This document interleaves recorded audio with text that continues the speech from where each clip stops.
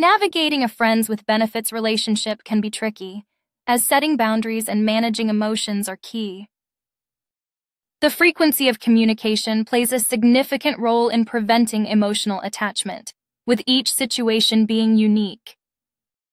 It's important to communicate openly, establish ground rules, and prioritize friendship over sex when necessary. If your FWB is texting you constantly, they may be looking for something more serious.